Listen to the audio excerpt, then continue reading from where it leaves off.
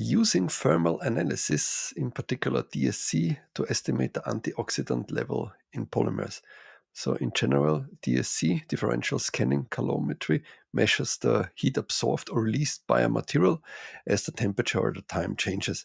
So, we use it commonly for phase transitions like melting phase, recrystallization with semi-crystalline polymers, and also the glass transition temperature.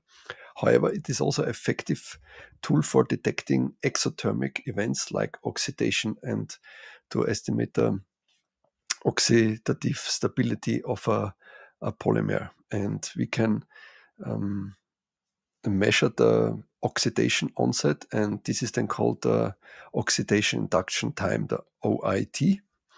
And uh, above me, you see an example of uh, polypropylene, um, one with a standard antioxidant package in orange, and uh, the other polypropylene with an improved antioxidant package. And you can see when we switch from nitrogen in the measurement to oxygen, the oxidation starts. And for the standard antioxidant package, it takes around two minutes, two minute 30 that oxidation starts and the antioxidant is used.